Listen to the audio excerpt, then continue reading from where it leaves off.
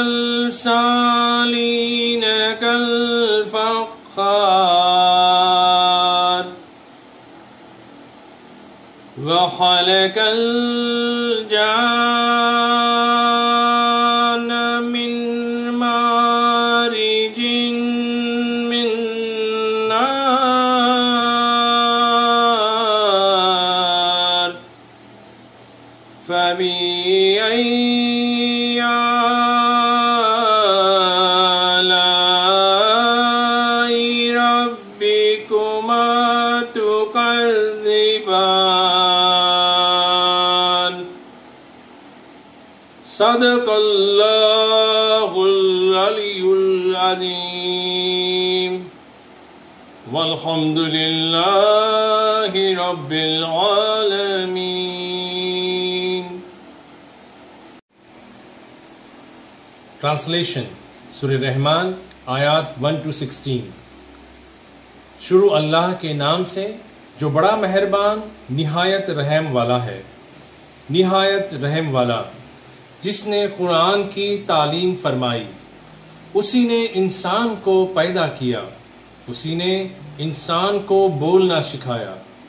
सूरज और चाँद एक मुकर्रर हिसाब से चल रहे हैं और सितारे और दरख्त उसको सिजदा कर रहे हैं और उसी ने आसमान को बुलंद किया और तराजू को कायम किया, ताकि तुम लोग तराजू से तोलने में हद से तजावुज न करो।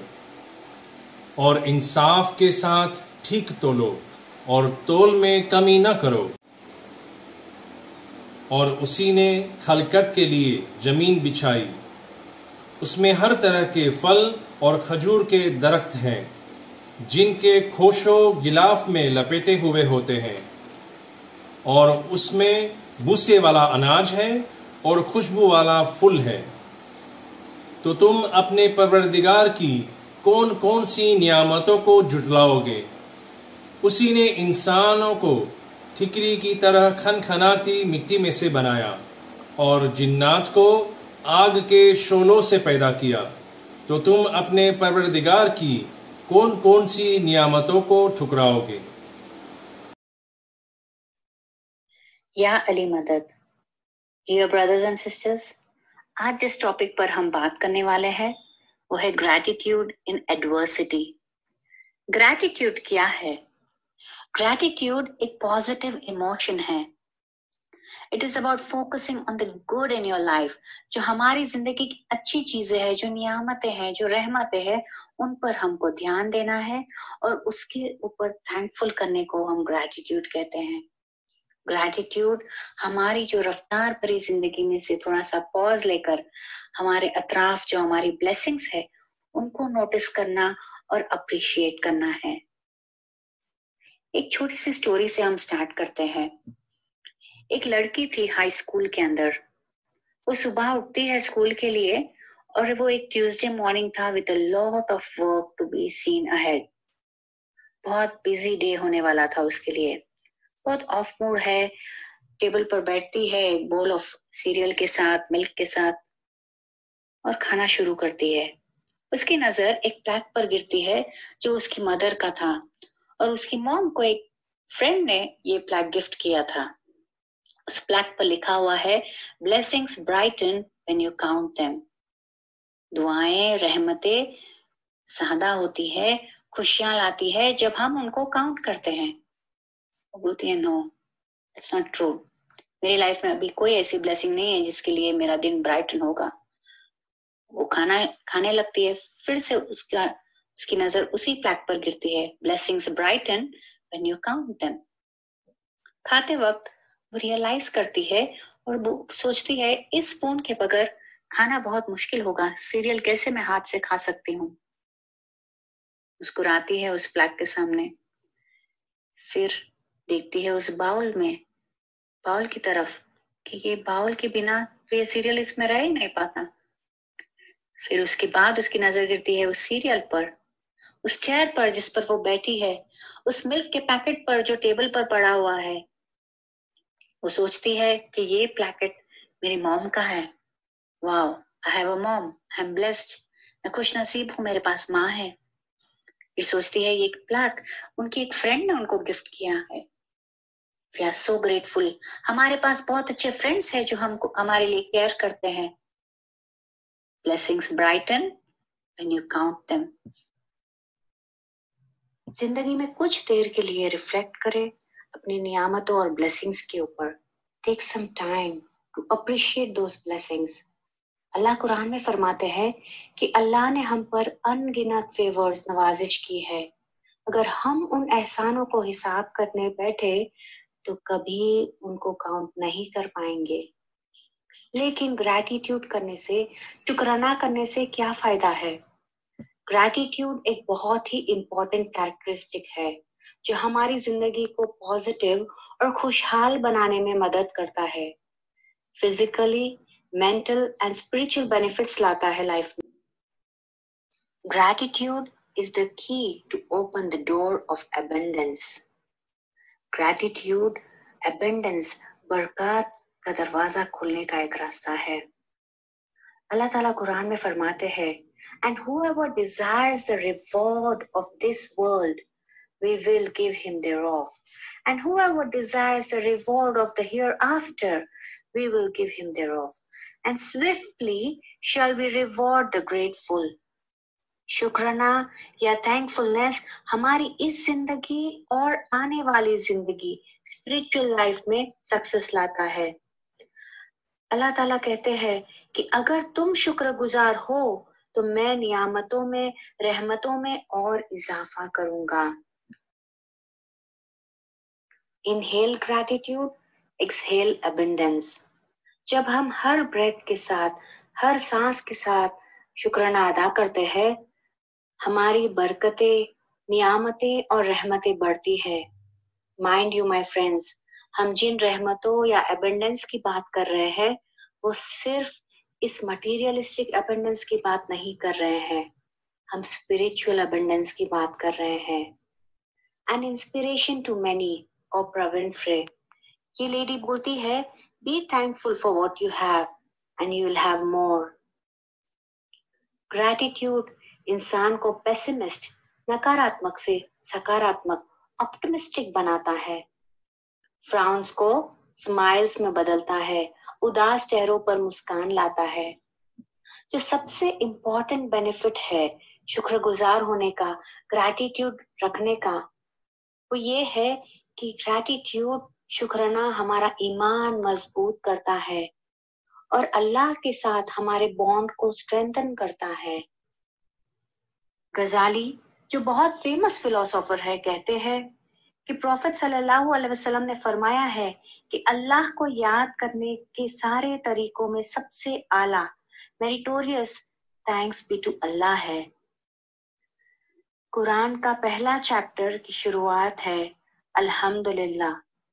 जिसका ट्रांसलेशन है all praise is for God हम अल्हम्दुलिल्लाह हमारी लाइफ में शुक्राना अदा करने के लिए थैंकफुलनेस एक्सप्रेस करने के लिए यूज़ करते हैं।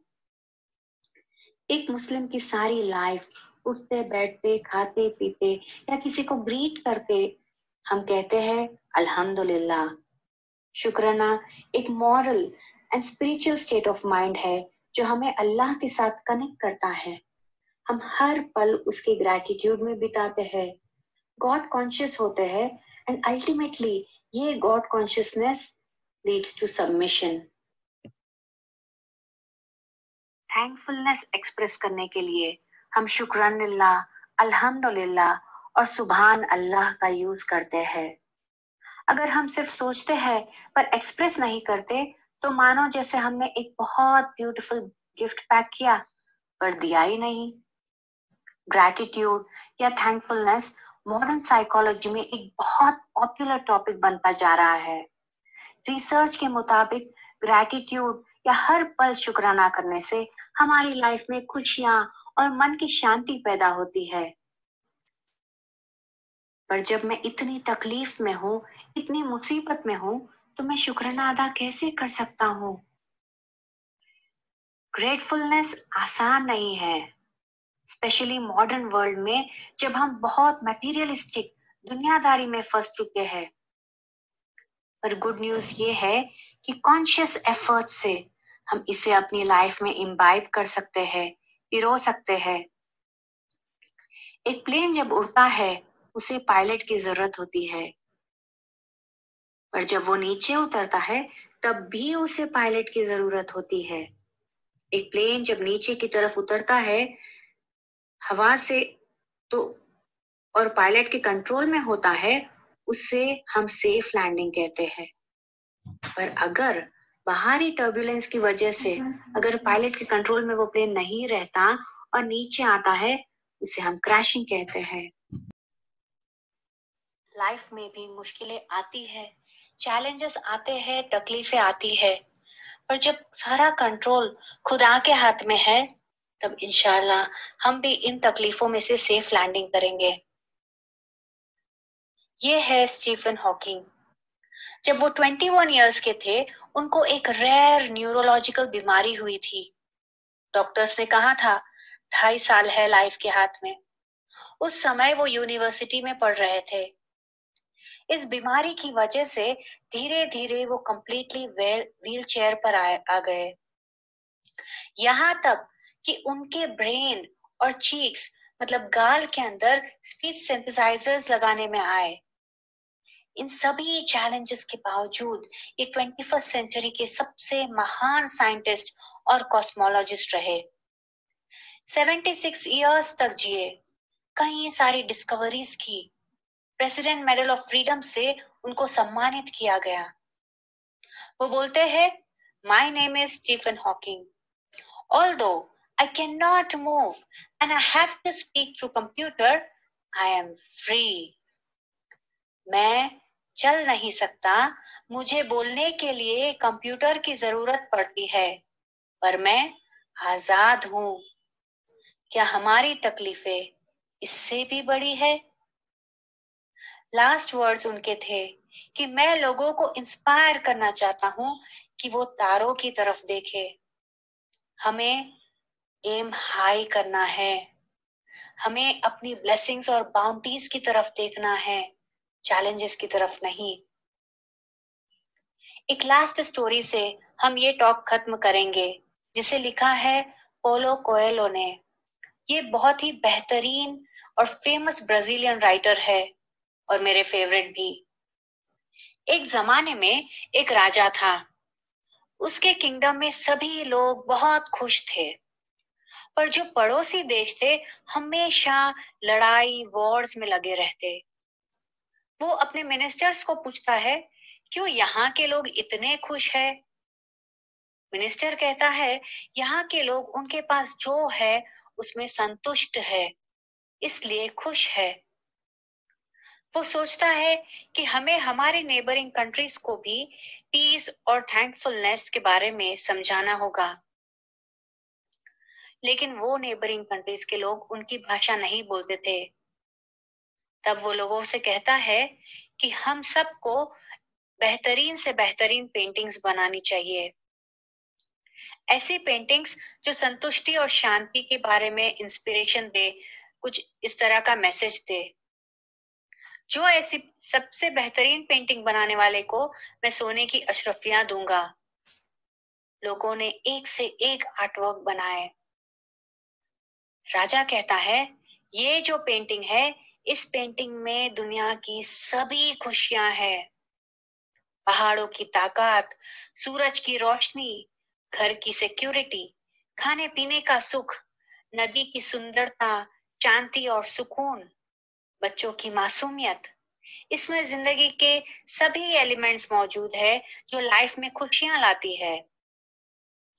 पर एक और पेंटिंग है जो इससे भी ज़्यादा इंस्पायरिंग है। जब वो उस दूसरी पेंटिंग को लोगों को दिखाता है, तब लोग हैरान हो जाते हैं। राजा कहता है, जब पहली बार मैंने इस पेंटिंग को देखा, तब मैं भी हैरान हो गया। सारा नेचर आंधी तूफ़ान से लिपटा हुआ है। पेड़ उस आंधी में जूझ रहा है। मगर जब मैंने गौर से देखा तो उस पेड़ पर वो एक घोंसला है और उस घोंसले में एक छोटी सी बर्ड है जो अपनी माँ की तरफ़ देखकर खुश हो रही है, जो उसके लिए खाना ला रही है। राजा कहता है, मेरे लिए यही सही मायने में ग्रैटिट्यूड और कंटेंटमेंट संतुष्टि और शुक्राना भरी ज़िंदगी है। जब हम हमारी लाइफ की छोटी छोटी चीज़ों के लिए खुश है, शुक्रगुजार है, और हमारे पास वो खुदा का साथ है, उसकी नियामत है, तब हम किसी भी आंधी का सामना कर पाएँगे। मौलाना रूमी कहते हैं wear gratitude like a cloak and it will feed every corner of your life gratitude शुक्राना को इस तरह से जब्बा बनाकर पहन लो कि वो हमारी लाइफ की हर कोने को वो फ़ीड करे। Gratitude is the key to a healthy happy and rewarding life वो हमारी सोल हमारी आत्मा, हमारी मेंटल हेल्थ और हमारे शरीर सबको नरिश करता है। ब्रदर्स एंड सिस्टर्स हम कॉन्शियसली ट्राई करें कि हम हमारी जो नियामतें हैं, अल्लाह की हमारे ऊपर रहमतें हैं, उनको काउंट करें, उनके लिए शुक्राना करें और खुश रहें। या अली मदद।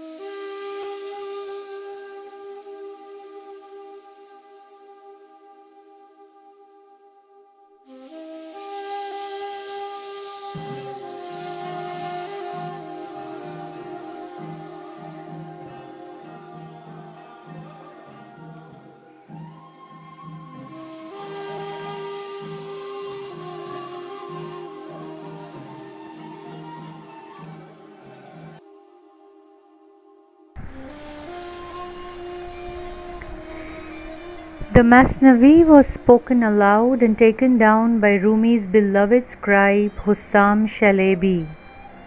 The two were walking when Hussam suggested that Maulana begin a new work in a new form. Something in the Masnavi tradition of Attar, Sanai, and others.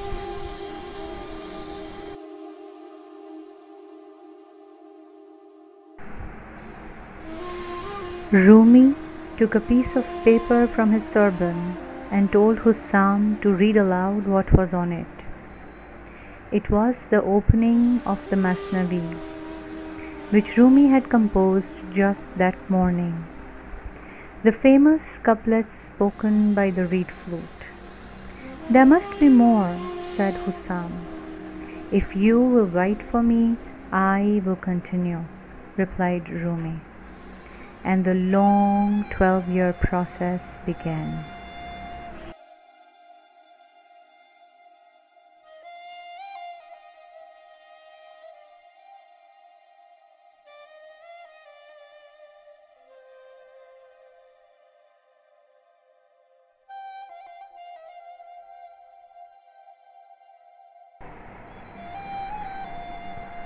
Song of the Reed in this poem, the reed flute complains about being cut from the reed bed and longs to return to its origins.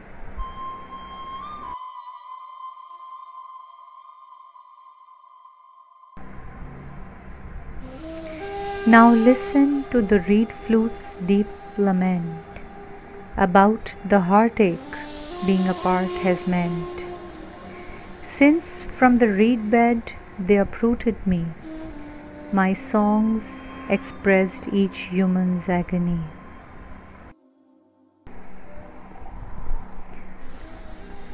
A breast with separations split in two is what I seek to share this pain with you.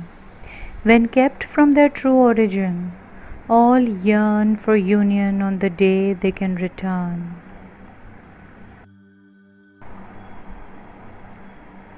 Amongst the crowd, alone I mourn my fate.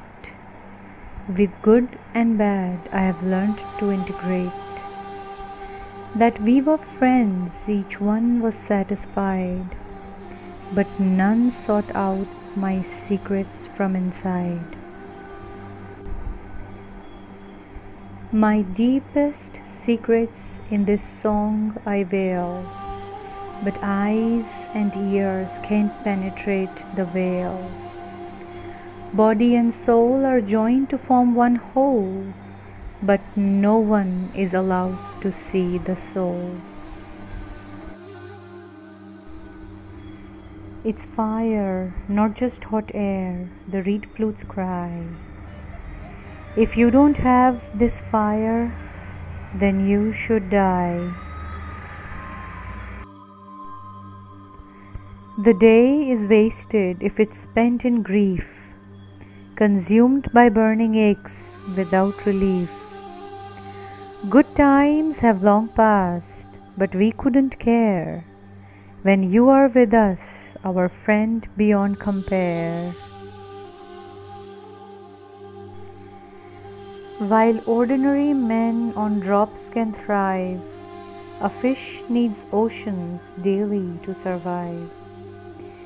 The way the ripe must feel, the raw can tell. My speech must be concise, and so farewell.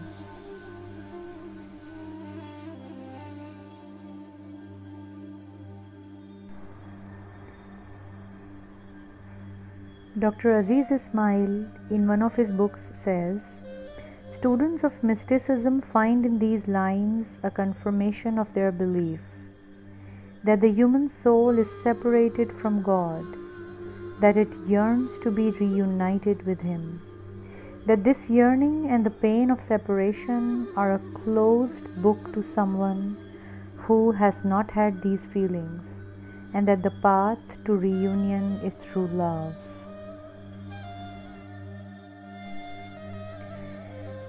A famous Sufi, Al Hujwiri, says, Unless the whole universe is a man's meeting place where he comes near to God, he is still a stranger to divine love.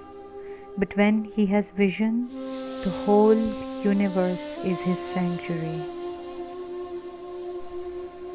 Our faith teaches us to think about our final home.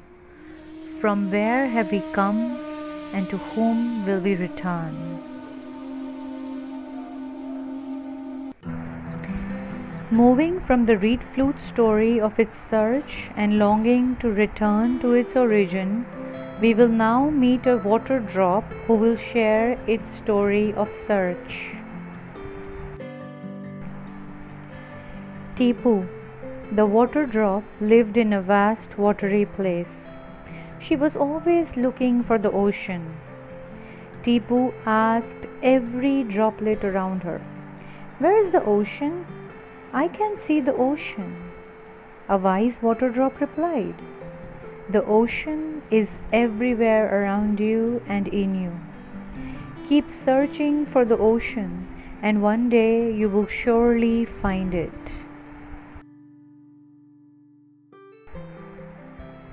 So Tipu kept looking and looking. One day, Tipu decided to swim towards the surface. She had heard a great deal about the surface and she wanted to know more about it. It was one place Tipu had never explored. Tipu said, Perhaps I will find the ocean here. As Tipu floated towards the surface, there was a strange light that played with the water, making wonderful patterns. Before Tipu could stop herself, a strong gust of wind swept her high above the surface, higher and higher towards the blue sky. For the first time in her life, Tifu found herself all alone. She could not see any of her water drop friends or the water that had been her home.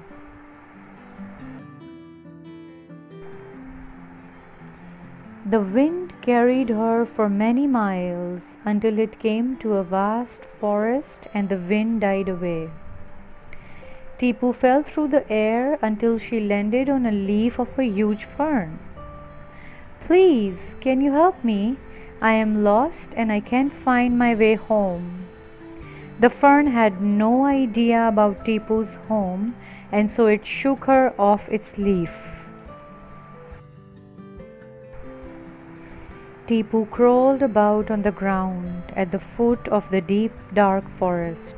She asked the butterflies, snails, tigers, and monkeys, but none of them could help her. At last, Tipu came across an old tortoise. The river should know where your home is. Climb on my back and I will take you there. Tipu slid on the tortoise shell and they went to the river. Tipu stretched up to look at the huge river before her. Mighty river, can you take me home? Your home is a long way off, and many difficulties lie on the way. If you want me to take you there, will you trust me and do as I say?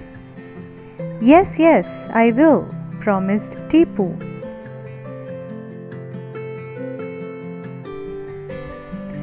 And so the river took Tipu in its strong arms and began to swim. Faster and faster went its waters as it made its way through the deep dark forest. After many weeks, the river said to Tipu, Look ahead of you. There is your home, the ocean. What a surprise it was for Tipu. At last she had come home, and her home was none other than the ocean. The ocean had been there all the time, and yet she had not seen it. Tipu was very happy to be back home.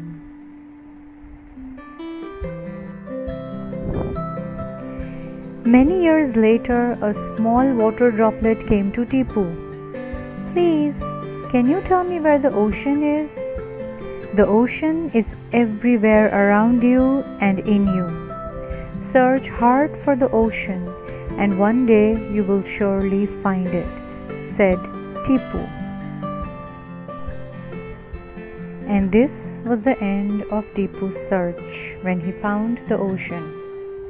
Don't forget, our faith teaches us to think about our final home. From where have we come and to whom will we return? One of the poets says it beautifully. कभी दरिया से मिसले मौज उभर कर कभी दरिया के सीने में उतर कर कभी दरिया के साहिल से गुजर कर मुकाम अपनी खुदी का फाश तर कर Al Quran al Sharif gives us an important message regarding this.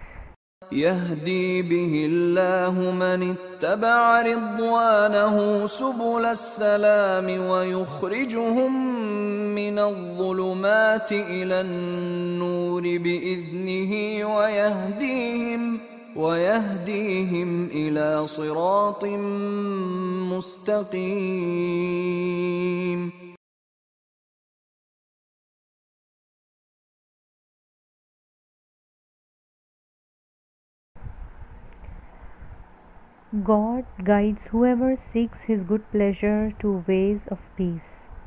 He brings them out of darkness into the light by His leave and guides them to a straight path. Suratul Maida, Ayah 16, the Holy Quran. Let us begin our personal search and rise to God's grace. Let us spend our lives in the journey that takes us within. As Tipu said, ocean is everywhere around you and in you. बिस्मिल्लाहिर्रहमानिर्रहीम। लैलतुल कदर के आज की इस तकरीर में हम सूरतुल कदर में अल्लाह तबारक व ताला ने जो कुछ बयान फरमाया है, उसमें से एक लफ्ज पर फोकस करेंगे। वो लफ्ज को समझने के लिए और जानने के लिए आइए एक दफ़ा पहले हम ये पूरी सूरा देख लेते हैं कि कहाँ पर यह लफ्ज आया है। और इसमें क्या कुछ हमारे लिए कहा गया है। रहीम इन्ना अनजल्लाहु फ़ी लतिल कद्र। बेशक हमने उसको कदर की रात में नाजिल किया है।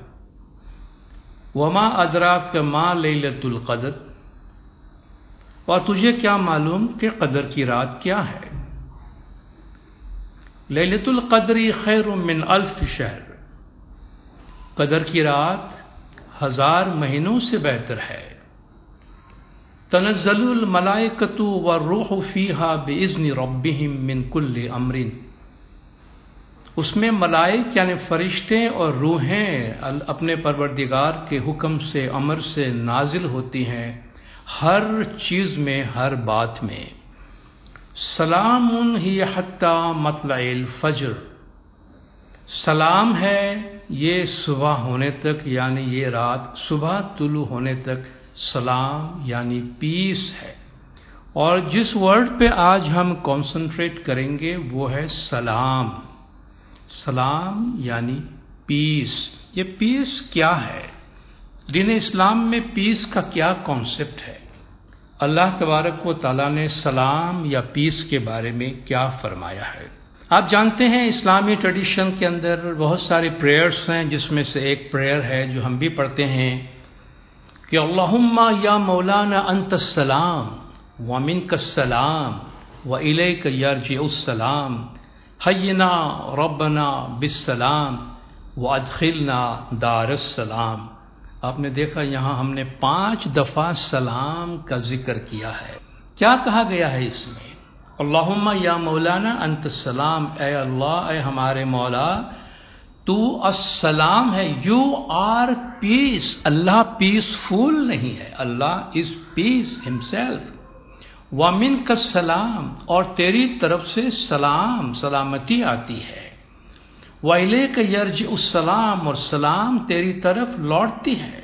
हयना रबना बिसलाम ए हमारे परवरदिगार, हमें सलामती की ज़िंदगी अता फरमा। Give us a life of peace वाथिलना दार सलाम और हमें पीस के घर में दाखिल कर।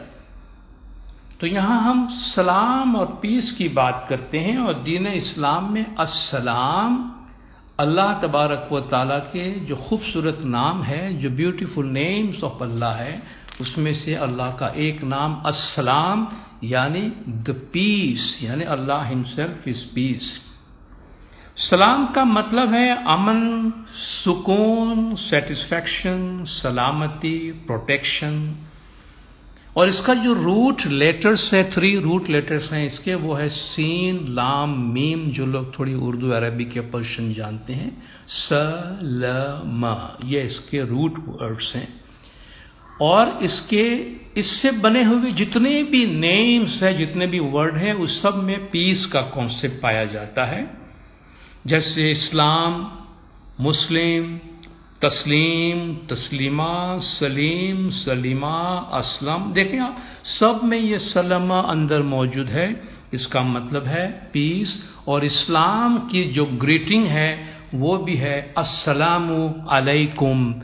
कि तुम पर सलाम हो, may peace be upon you चूँकि अल्लाह का नाम भी असलाम यानी पीस है, इसलिए फरमाया गया है कुरान शरीफ में कि अला बिक्र तत्मा इन्नकलूब कि आगा हो जाओ कि अल्लाह तबारक व ताला के ज़िक्र से ही दिल को पीस मिलता है, दिल को सेटिस्फेक्शन मिलता है, दिल को कंटेंटमेंट मिलता है, क्योंकि जिस नाम को हम बुलाते हैं, वो नाम खुद पीस है, जब आप पीस का नाम भी लेते हैं पीस सलामती, अमन, सुकून, शांति, आप जानते हैं शांति भी कुछ मज़हब के अंदर एक जाप है, जब वो कहते शांति शांति शांति शांति। तो आप देखें, खुद हमारे अंदर एक कामनेस और एक क्वाइटनेस पैदा हो जाती है। अल्लाह ताला फरमाता है कि अल्लाह का जो रास्ता है, वो भी पीस का रास्ता है, सलामती का रास्ता है। कज्जाकुम मिन अल्लाह नूर व किताब मुबीन। बेशक तुम्हारे पास अल्लाह ताला की तरफ़ से नूर और एक वाज किताब आई है। यहदी बिहिल्लाह मनी तबा रिजवान जो अल्लाह की मर्ज़ी को फॉलो करता है, उनको अल्लाह इन चीज़ों से गाइड करता है। सुबुलसलाम पीस के रास्ते की तरफ़। जब हम अल्लाह की तालीमत पे अमल करते हैं तो वो तालीमत हमें पीस के पाथ की तरफ़ पाथ ऑफ़ पीस की तरफ़ हमें कॉल करता है, हमें बुलाता है। वो यखरजुहम मिन जुलमात नूर, और तुम्हें अंधेरों से निकाल के नूर की तरफ़ ले जाता है बेइज्न ही वो यहदहीम इला सिरात मुस्तकीम, और तुम्हें सिरात मुस्तकीम की तरफ़ ले जाता है। तो अल्लाह खुद पीस है, अल्लाह का रास्ता पीस है जन्नत जिसकी हम तमन्ना करते हैं, दुआ में हम अपनी प्रेयर्स में मांगते अतखिलना दारुसलाम जैसा कि मैंने शुरू में ज़िक्र किया, वो दारुसलाम भी जन्नत का नाम है। लहुम दारुसलाम इन रबहीम अल्लाह ताला फरमाता है कि उनके लिए अल्लाह के पास पीस का घर है दारुसलाम है। यानी कि जन्नत है। वल्लाह यदऊ इला दारिसलाम अल्लाह ताला तुमको दारिसलाम यानी कि पीस के घर की तरफ़ बुलाता है, दावत देता है। जब एक इंसान दुनिया से गुजर जाता है तो अल्लाह ताला फरमाता है, जो नेक आदमी गुजरता है तो फरिश्ते किस तरह उनकी रूह कब्ज करते हैं और किस तरह उनको ग्रीट करते हैं। कजाली का मुत्तकीन। अल्लाह ताला इस तरीके से पाक पाकिजा लोगों को बदला देता है। अल्लवीन ततवफ़ाहमुल मलाइकतु तोयबीन। कि जब मलाइक उनकी जान लेते हैं, जब मलाइक उनकी रूह कब्ज करते हैं तो इस हालत में वो होते हैं कि वो प्योर होते हैं, पाक और पाकिजा होते हैं ये मोमिन यकूलूना, और ये फरिश्ते उनसे कहते हैं सलाम अलैकुम, पीस बी अपॉन यू। तुम पर सलाम हो। वहाँ भी जो ग्रीटिंग है, वो पीस है। उत्खुल जन्नत बीमा कुन तुम तामलून। जो काम तुम किया करते थे, उसके बदले में आज तुमको जन्नत में दाखिल किया जाता है। तुम दाखिल हो जाओ। जब वो जन्नत में दाखिल होने जाएँगे तो जन्नत के जो केयर टेकर फरिश्ते हैं, जन्नत के दरवाजे पर जो केयर टेकर फरिश्ते हैं, वो उनको किस तरह वेलकम करते हैं? वक़ाल लहोम खजन तुहा और जो जन्नत के निगेबान हैं, वो उनसे कहते हैं सलाम अलैकुम, पीस बी अपॉन यू। तुम पर सलाम हो, तुम पर सलामती हो तृप तुम। तुम बहुत पाको पाकिजा होके आए हो। फतखुलुहा खालिदीन, इस जन्नत में दाखिल हो जाओ, और तुम हमेशा के वास्ते इसमें रहो। तो आपने देखा, जन्नत और पीस जन्नत और सलाम, सलामती का रास्ता और पीस इनका आपस में कितना गहरा ताल्लुक है, जिसका मतलब यह है कि जहाँ पीस है, वहाँ जन्नत है, और जहाँ जन्नत है, वहाँ पीस है। और अल्लाह तबारक व को ये पीस कितना पसंद है, हम जानते हैं। और हम इस पीस के लिए दुआ मांगते हैं कि अल्लाह मौलाना अंत सलाम वमिन सलाम वैले के जर्ज उसलाम हयना रबना बिसलाम हम दुनिया में भी पीस की लाइफ चाहते हैं वातखिलना दारसलाम। नेक्स्ट वर्ल्ड में भी हम पीस की लाइफ चाहते हैं। तो ये पीस हमें कैसे हासिल हो? ये पीस हमको किस तरह मिल सकता है? सिर्फ़ दुआ मांगने से? देखिए, दुआ हम बहुत सारी चीज़ों के लिए मांगते हैं। ये बात बहुत अच्छी तरह समझ लेनी चाहिए। हम जानते हैं, प्रैक्टिकली हम देखते हैं, हम किसी भी चीज़ के लिए दुआ मांगते हैं तो हम सिर्फ़ दुआ पर ही डिपेंड नहीं करते हैं। दुआ के साथ साथ हम उसके पैरेलल उसको सपोर्ट करने वाला अमल भी करते हैं, अल्लाह ताला फरमाता है। इले ही यस उदुल कलिमो तयबू। वल अमल सालहू यरफहू अच्छा कलीमा उसकी तरफ़ जाता है, अच्छी बात ऊपर की तरफ़ जाती है और अच्छे अमाल उसको पुश करके, बूस्ट करके ऊपर ले जाती है। तो अच्छी दुआ को ऊपर ले जाने के लिए उसी के साथ अच्छे आमाल जो है वो उनको सपोर्ट करते हैं, वो भी ज़रूरत है। हम गुड हेल्थ के लिए दुआ मांगते हैं रोज़ाना? हम अच्छी हेल्थ के लिए लंबी लाइफ के लिए दुआ मांगते हैं? लेकिन इसके साथ साथ अपने हेल्थ का केयर भी तो करते हैं ना। हम बीमारी में इलाज भी करते हैं मेडिसिन भी लेते हैं विटामिन भी लेते हैं। तो हेल्थ की दुआ के साथ साथ हेल्थ को केयर भी करते हैं। एजुकेशन की दुआ मांगने के साथ साथ अपने बच्चों को स्कूल कॉलेज यूनिवर्सिटी भेजते हैं, खुद भी तालीम हासिल करते हैं। रोजी रोज़गार में बरकत की दुआ मांगते हैं, लेकिन जॉब पर भी तो जाते हैं ना। अपनी दुकान पे जाते हैं, कारोबार पे जाते हैं, रोजी कमाते हैं ना। तो हम सिर्फ़ हर चीज़ दुआ पे नहीं छोड़ते हैं। दुआ के साथ साथ उनसे, उसके साथ जो चीज़ दुआ को सपोर्ट करती है, वो एक्शन भी हम करते हैं। इसीलिए कहते हैं कि helping hands are holier than the praying lips भैया आप दुआ तो मांगते हो किसी की मदद के लिए, अच्छी बात है, मगर साथ साथ तुमने उसके हक में दुआ भी की और थोड़ा सा हेल्प भी कर दिया तो तुम्हारी दुआ ज़्यादा यूजफुल हुई कि तुमने अपनी दुआ के मुताबिक काम किया। बिल्कुल इसी तरह जब हम कहते हैं कि या अल्लाह हमें पीस दे, पीस वाला घर दे, पीस वाली दुनिया दे तो हम पीस के लिए क्या करते हैं? Action speaks louder than the words कि हमारे अल्फाज से ज़्यादा बड़ी आवाज़ से हमारे आमाल बोलते हैं। तो जब हम पीस मांगते हैं तो पीस हासिल करने के लिए क्या करते हैं हम? जब हम पीस की बात करते हैं तो peace global peace universal peace और आपकी कंट्री में पीस टेरिटोरियल पीस उसके बाद जाकर आपके कंट्री में, आपकी सिटी में पीस और आपकी लोकेलिटी में पीस देन आपकी फैमिली में पीस आपके घर में पीस आपके सेल्फ के साथ पीस पीस के बहुत सारे सर्कल्स हैं ये बहुत मैक्रो लेवल पर भी है और बहुत ही माइक्रो लेवल पर भी है। हम मैक्रो लेवल पर पीस की बात नहीं करेंगे, हम माइक्रो लेवल से शुरू करेंगे। Peace with our own self peace within our home and peace within our family अगर ये छोटा सा माइक्रो लेवल पे अगर हम पीस के लिए कुछ कंट्रीब्यूट कर सकें तो ये हमारा बहुत बड़ा कंट्रीब्यूट होगा। अगर हर आदमी अपनी जात से पीस विथ योर सेल्फ अपनी जात से पीस और पीस इन योर फैमिली अगर ये दो हम अटेन कर सके तो शायद दुनिया में हम पीस फैलाने में बहुत ज़्यादा कामयाब हो जाएँगे। What is peace peace is not something you wish for it is something you make peace खाली दुआ मांगने के चीज़ नहीं है it is not something you wish for कि हाँ मेरी दुआ है अमन हो जावे अमन हम ला सकते हैं पीस हम ला सकते हैं peace is a choice peace is a choice and we have to choose peace peace is not something you wish for ये सिर्फ़ दुआ मांगने के लिए नहीं है।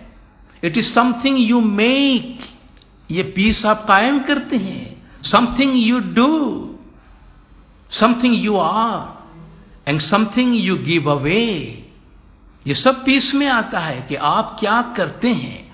आप पीस के लिए क्या कंट्रीब्यूट करते हैं। आप खुद, आपकी पर्सनैलिटी कितनी पीसफुल है। और पीस हासिल करने के लिए आप क्या क्या छोड़ देते हैं। तो सबसे पहले अपनी जात में peace accept what you are accept as you are अपनी जात से खुश रहे, अपनी जात को कबूल कीजिए। Peace is a mindset peace आसमान से खुद ब खुद नहीं आता है। पीस हमें क्रिएट करना पड़ता है। हमारे, हमें सवाल करें अपने आप से पीस हमारे माइंड सेट में है या नहीं है? Is peace our choice is peace our priority क्या पीस हमारी चॉइस है? पीस हमारी प्रायोरिटी है? अगर पीस हमारी चॉइस और प्रायोरिटी है तो कोई भी हमें पीस कायम करने से नहीं रोक सकता है। अनफॉर्चुनेटली आजकल आप देख रहे हैं सुन रहे हैं आपको भी दुख होता होगा हमको भी दुख होता होता है कि, रिसेंटली ये जो लॉकडाउन हुए हैं उसमें फैमिली रिलेशनशिप बड़े खराब हो गए हैं। डोमेस्टिक वायलेंस बढ़ गया है। समझ सकते हैं, इंसान बहुत ज़्यादा स्ट्रेस में है, बहुत ज़्यादा प्रेशर में है, मगर जब हमारी एनिमल इंस्टिंक्ट हम पे गालिब आ जाती है तो हम एग्रेसिव हो जाते हैं, हम वायलेंट हो जाते हैं। जब हमारी इंसानी कैफियत को हम अगर प्रायोरिटी देते हैं तो वायलेंस होने की कोई ज़रूरत नहीं है। वायलेंस की कोई जगह नहीं है वहाँ पे।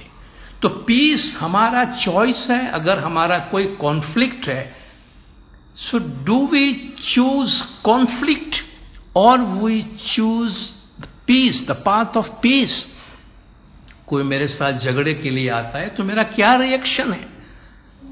मैं उतर के उसको रिटेलिएट करता हूँ या मैं कहता हूँ, नहीं ओके इस फाइन कोई बात नहीं, जाने दो। दैट वॉज़ माई चॉइस के ये पीस मेरा चॉइस रहा। प्रॉफिट्स ने पीस को चूज़ किया है।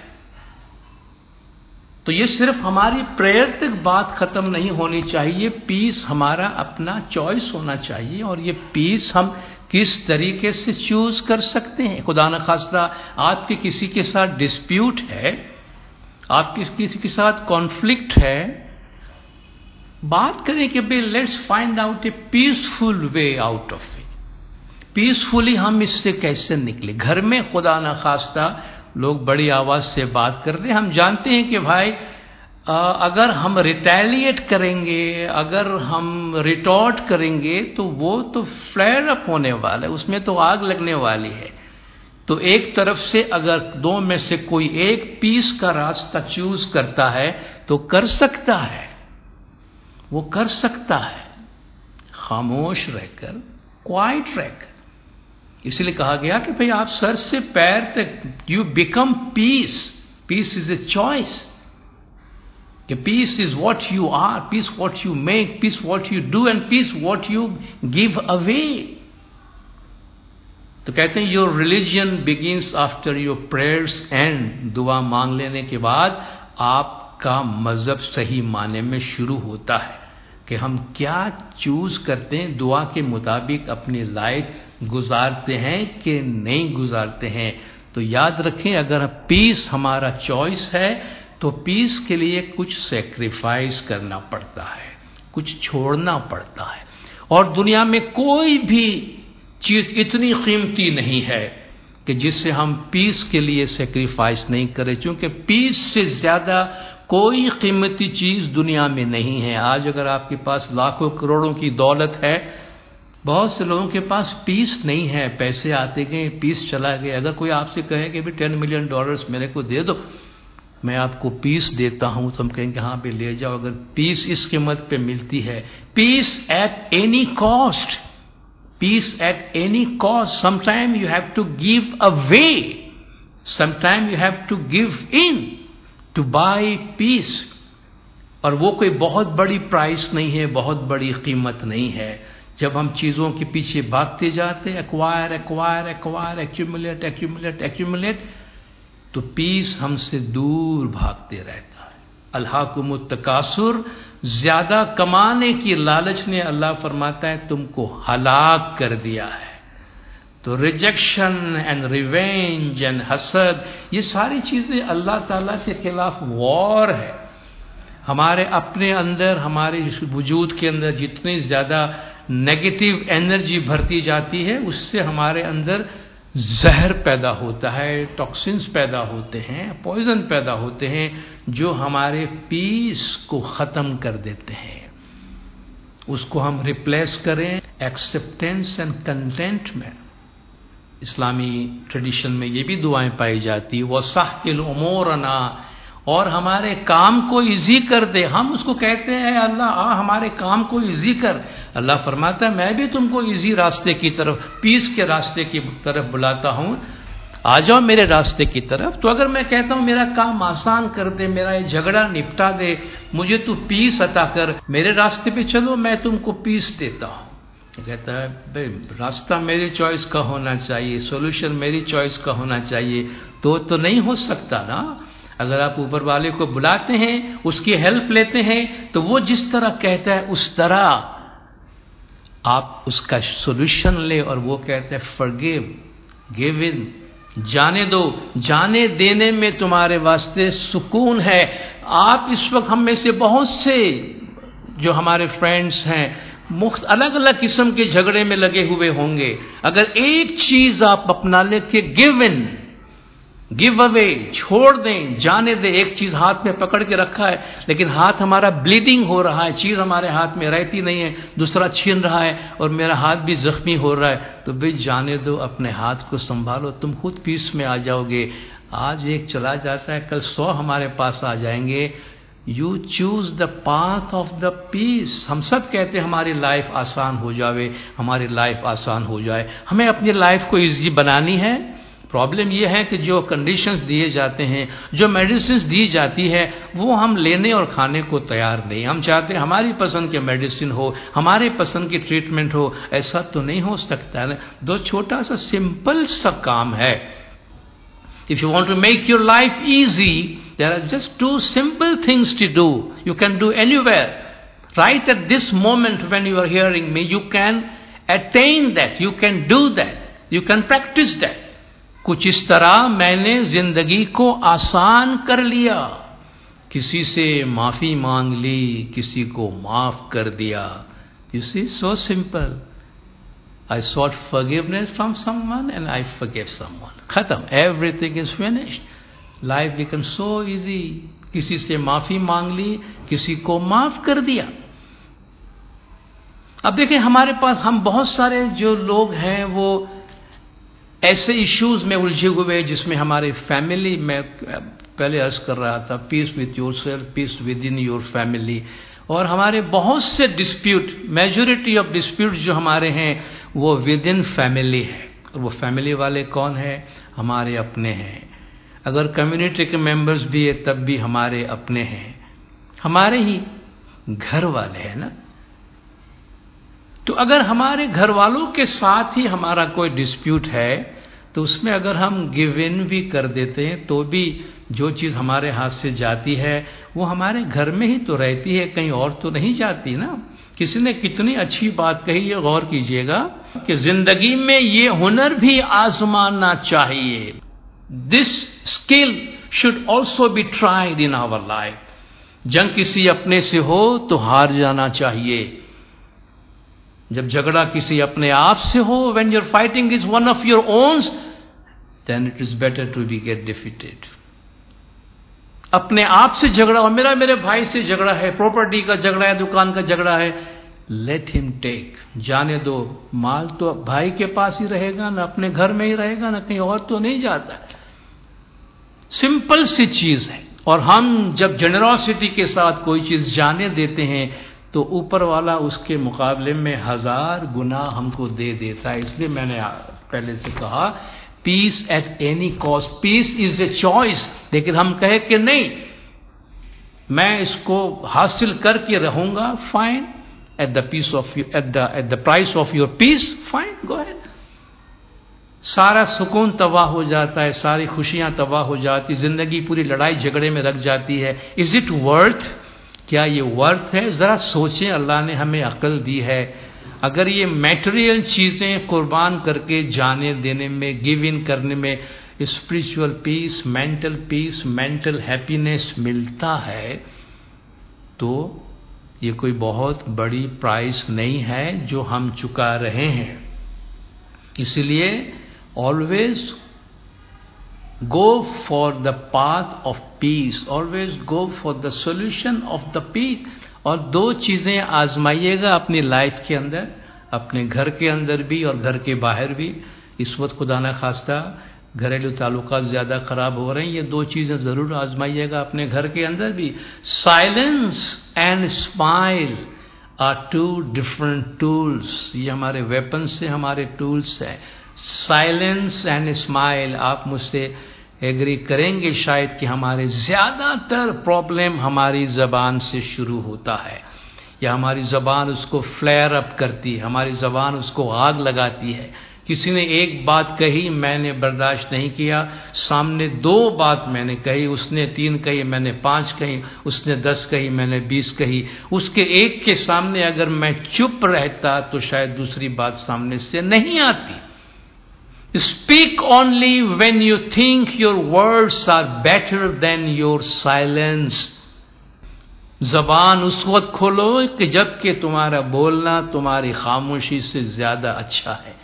अदरवाइज़ इंसान जितना वाइज होता है, जितना ऊपर गया हुआ होता है, इतना क्वाइट होता है। जो इंसान खुदा से जितना नज़दीक आता है वो इतना क्वाइट होता है लाइफ में। तो कहते silence and smile are two different tools इसको यूज़ करें। Smile is the way to solve many problems चेहरे पे थोड़ी सी मुस्कुराहट हो तो बहुत से प्रॉब्लम्स सॉल्व हो जाते हैं। Silence is the way to avoid many problems खामोशी बहुत सारे झगड़ों से हमें बचा के रखती है। Silence is the way to avoid many problems.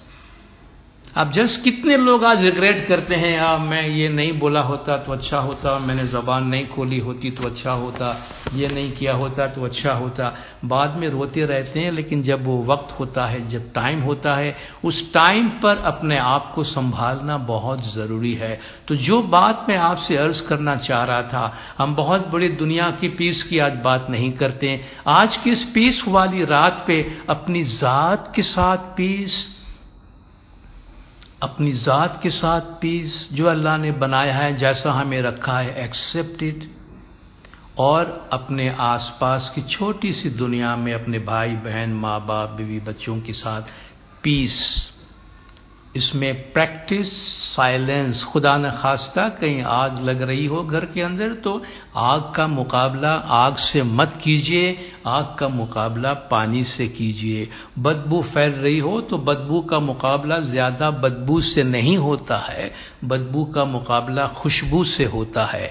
अगर अंधेरा फैल रहा है तो अंधेरे का मुकाबला ज़्यादा अंधेरों से नहीं होता है, अंधेरे का मुकाबला रोशनी से होती है। तो पीस पीस पीस गौर करें कि हम पीस के लिए प्रे करते हैं, लेकिन पीस के लिए कंट्रीब्यूट क्या कर सकते हैं। Peace is not something you wish for peace is something you make peace is something you do and peace is something you are and peace is something you give away Allah ताला हम सबको piece के लिए contribute करने की हिम्मत अता करे और हमें इस दुनिया में पीस से भरपूर लाइफ अता करे। आमीन। बहुत बहुत शुक्रिया। या अली मदद, हज़ारों महीनों से बेहतरीन ये रात, अल्लाह से मुलाकात की ये रात, किसी को माफ़ करने की और खुद के लिए माफ़ी तलब करने की ये रात बरकतें, नियामतें लेकर आई है लैलतुल कद्र की ये रात। दोस्तों, हम बहुत ही खुशकिस्मत हैं कि आज की ये पाक और मुबारक रात हमें नसीब हुई है। आज की ये रात हमें एक बहुत ही अहम मैसेज देती है। उस मैसेज को समझने की हम कोशिश करेंगे। आइए कुछ इमेजेस देखते हैं। ये इमेजेस देखकर हमारे माइंड में क्या आता है ये पिक्चर्स किन बातों से जुड़े हुए हैं What comes to your mind when you see these images? Let's reflect.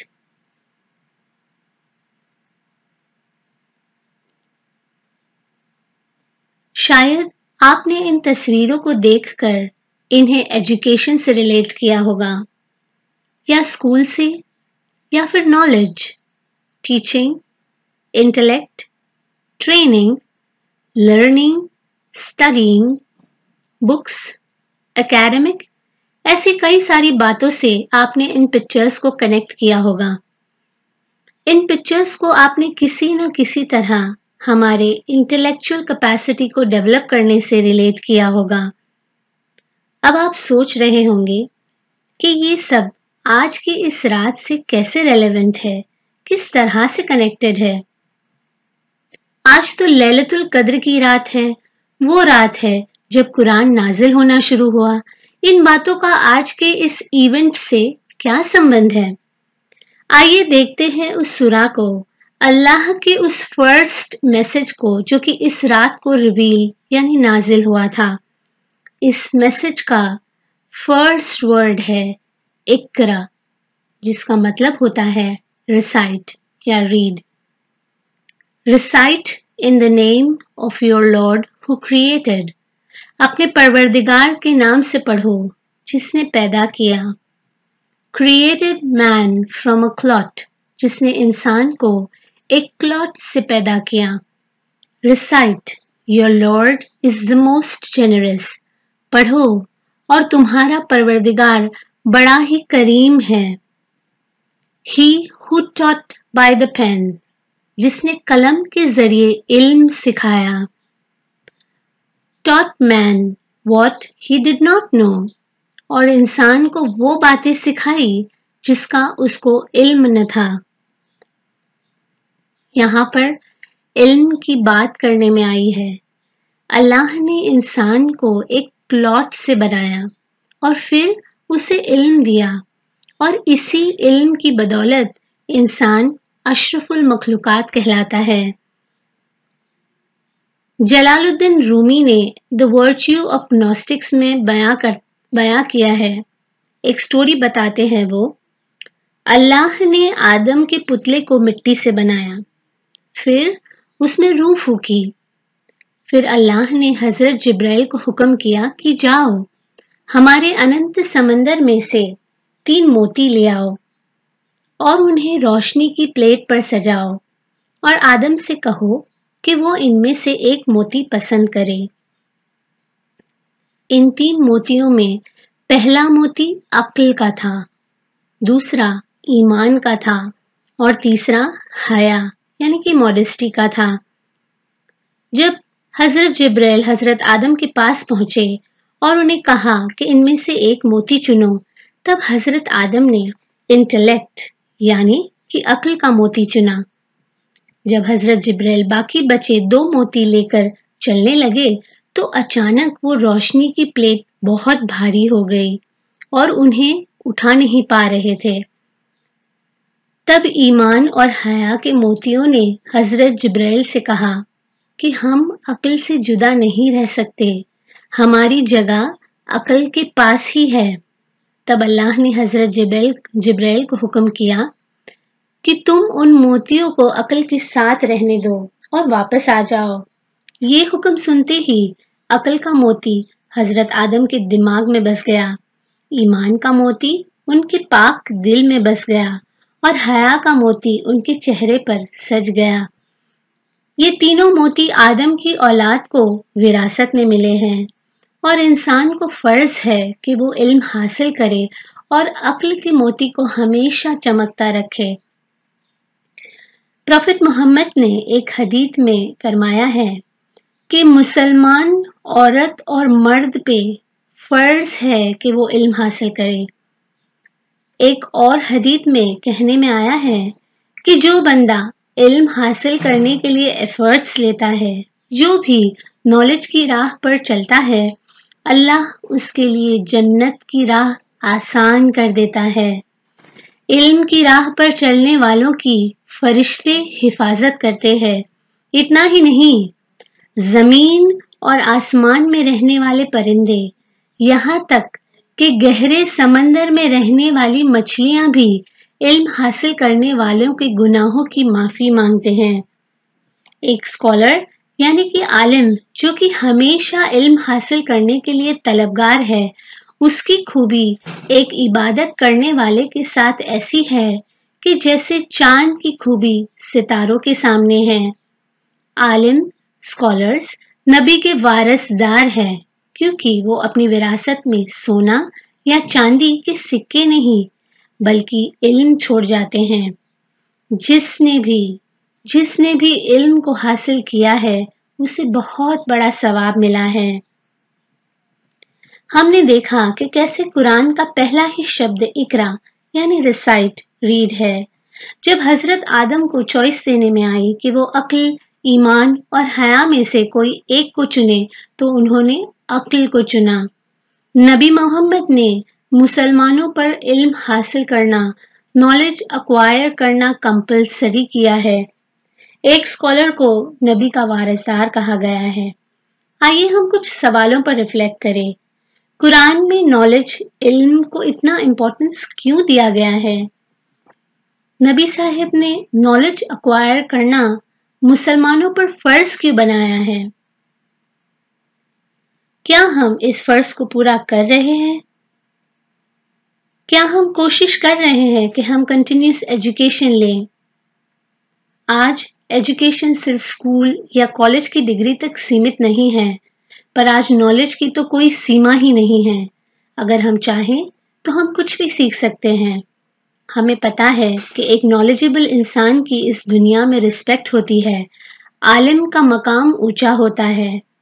आज के समय में क्रिटिकल थिंकिंग स्किल्स डेवलप करने से हम किसी भी प्रॉब्लम को सॉल्व करने के लिए खुद को केपेबल बना सकते हैं।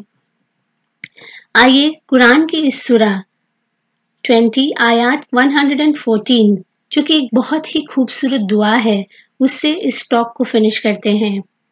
ए मेरे परवरदिगार, मेरे इल्म में इजाफा कर, आमीन, या अली मदद।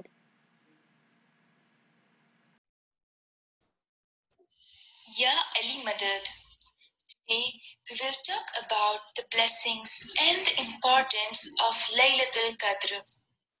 लैलतुल कद्र एक ऐसी रात जो बेशुमार बरकतों से नवाजी गई है। It is the pinnacle of the entire year ऐसे तो इस्लामिक कैलेंडर में कई ऐसे दिन और कई ऐसी रातें हैं जो अपनी एक अलग अहमियत रखते हैं। हालाँकि माह मुबारक रमज़ान का पूरा महीना ही नेमतों से भरा है। लेकिन ऐसा कोई दिन नहीं, ऐसी कोई रात नहीं पूरे साल में जिसका ज़िक्र अल्लाह ने कुरान पाक में पूरी एक सुरह के ज़रिए किया हो। And that is not enough. He did it again in surah ad-dukhan, surah number 44 इससे हम अंदाज़ा लगा सकते हैं इस रात की अजमतों का This night is also the celebration of Quran. It commemorates the night during which the first five verses of Quran Sharif were revealed. ये नुजुल कुरान की रात है जब हमारे प्यारे नबी हज़रत मोहम्मद मुस्तफ़ा सल्लल्लाहु अलैहि वसल्लम पे कुरान शरीफ की पहली पाँच आयातें नाजिल हुई। ऐसे तो अरेबिक वर्ड कद्र के कई मीनिंग्स हैं।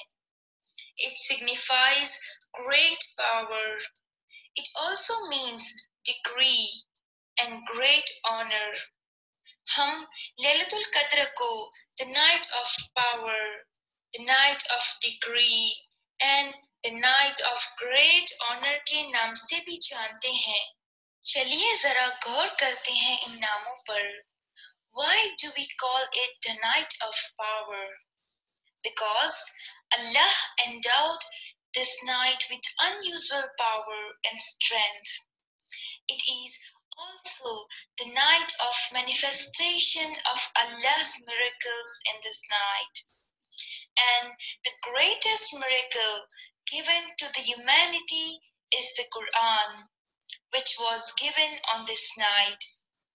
मुझे सूफीज्म की एक बात बहुत अच्छी लगती है वो कहते हैं कि कुरान शरीफ का आगाज होता है बिस्मिल्लाह से यानी ब से the first letter of the Quran is ब एंड द लास्ट सूरा कुरान शरीफ is Surah Annas जिसका आखिरी वर्ड है नास यानी कि कुरान का आगाज़ होता है ब से और एंडिंग होती है स से अगर इन दोनों को जोड़ा जाए तो होता है बस इनफ सूफिज्म में कहा जाता है ये कुरान हमारे लिए इनफ है and it is really true Quran Sharif gives us the hidayah according to the time.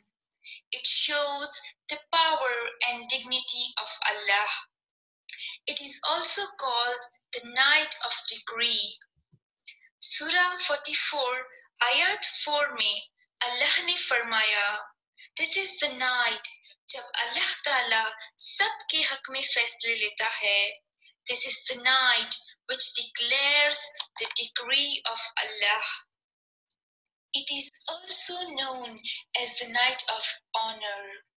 We call it the night of honor because this is the night when Allah revealed His most honorable words through His most honored angel to His most honored messenger. ये वो रात है जब अल्लाह ने अपने सबसे honourable words reveal किए जो है कुरान शरीफ through his most honored angel which is Hazrat Jibrahil alayhi salam to his most honored messenger उनके सबसे अज़ीज़ नबी हज़रत मोहम्मद मुस्तफ़ा सल्लल्लाहु अलैहि वसल्लम अल्लाह ताला ने इस रात की अजमतों का ज़िक्र सूरा नंबर 97 सूरा अल कद्र में किया है। इस सूरा की पहली आयत में अल्लाह फरमाते हैं कि यही वो मुबारक रात है शब कद्र जिसमें कुरान का नुजूल हुआ। In second ayat, Allah says, And how you may know what is the night of decree, and we will get the answer. तीसरी आयत में अल्लाह ताला इस रात की अहमियत के वसीले से कहते हैं कि ये वो मुबारक रात है। ये रात हज़ार महीनों से बेहतर है। इस रात में की गई इबादत हज़ार महीनों में की गई इबादत से अफजल है। अगर हम काउंट करें तो हज़ार महीने मतलब 83 years four months, which is more than an average life of a person. मतलब इस एक रात की इबादत का सवाब ऐसा है जैसे पूरी ज़िंदगी हमने इबादत में गुजारी हो इन दिस मुबारक नाइट एवरी ज़िक्र you do count as you did it for thousand times अगर इन तीन आयातों को देखें तो तीनों आयात में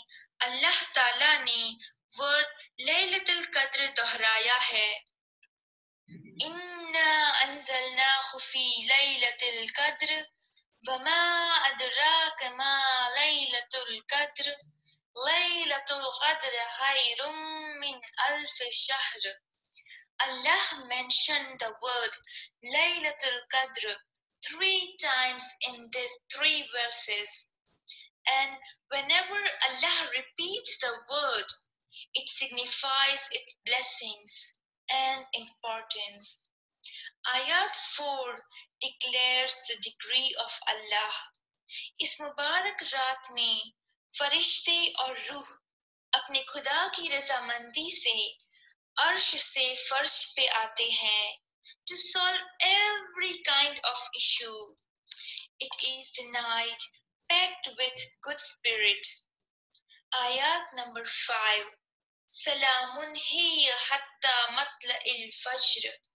आयात पाँच की शुरुआत होती है अस्मा उल हुस्ना यानी अल्लाह के नाम से which is अस्सलाम means the peace इस रात में अल्लाह ताला ने इस रात को पीस यानी शांति और सुकून से भरा कहा है Dear brothers and sisters, normally we say that the moment was peaceful or the night was peaceful, but Allah declares this night as peace itself until the emergence of dawn. This is the night full of blessings, and it is the night to pray and seek Allah's forgiveness.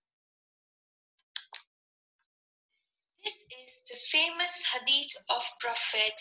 It says, Whoever establish prayer on the night of Qadr with sincere faith and hoping for a reward from Allah, then all his previous sins will be forgiven. रसूल खुदा फरमाते हैं, इस रात में गुनाह बख्शे जाते हैं, लेकिन उसकी दो शर्तें बताई हैं नबी साहिब ने। One is to pray with sincere faith इस रात में सच्चे दिल से और पूरी निष्ठा से अल्लाह की बंदगी करो, उसका ज़िक्र करो, और दूसरा, उससे पूरी आशा रखो। Hope for the reward from him बेशक वो बख्शने वाला है जरूर हमारे गुनाहों को बख्शेगा So my dear brothers and sisters, try to pray with your pure heart on this night. Dai Nasir Khusro explains the significance of this night, saying, You illuminate the mosque on the night of Qadr and make it as bright as the day, while your hearts are as dark as the darkest night. Know that illumination are not enough. When you light the lamps, remind yourselves that your dark hearts without inner purification will not become enlightened by the lamps. हम लैलतुल कद्र की रात को मस्जिद जमात खाना और अल्लाह की बारगाह को रोशनी से सजाते हैं। उसे ऐसे रोशन करते हैं जैसे दिन रोशन होता है। दायर नासिर खुसरो कहते हैं कि अगर दिल साफ़ नहीं, if it is as dark as night, then there is no use of that lights and lamps वो रोशनी हमारे दिलों को रोशन नहीं कर सकती। The darkness of our hearts can only be lightened by the nur of Allah. Every year, Muslims all over the world observe the night of Laylatul Qadr as a reminder for their own spiritual search. ये रात हमारे लिए एक मौका है कि खुदा के और करीब जाएं, to connect with our Creator, to take one step ahead in our spiritual search. Abida Parveen, the queen of Sufi music, has explained in one of her sessions in spirituality that spirituality has no theory. It is the direct connection that man shares with his creator. Spiritualism is a light that Allah put in man's heart at the time of his creation. the warmth of that flame is inexplicable except for the person who felt it in his heart. Very beautifully, Abida Parveen has explained that the Nur of Allah is already there in our heart. We have to continuously search for the warmth, for that Nur of Allah which is inside us. And when you will find that Nur, when the darkness, the spiritual darkness is removed by the light of Allah's Nur, you will find the sense of security and inner peace in your soul. I would like to end my session with this beautiful poetry. Truth is the night of power, hidden amid the other nights, so the soul may try each one. Not all nights are the night of power, yet all nights aren't empty of it either. Very beautifully, this poetry explains that Laylatul Qadr is a truth जो इन रातों के अंदर छुपी हुई है as a मुरीद हमारी आत्मा को हर रात प्रयास करना चाहिए to find that night to find that moment which can lead you in your spiritual search, which can connect you with your Creator. Ya Ali Madad.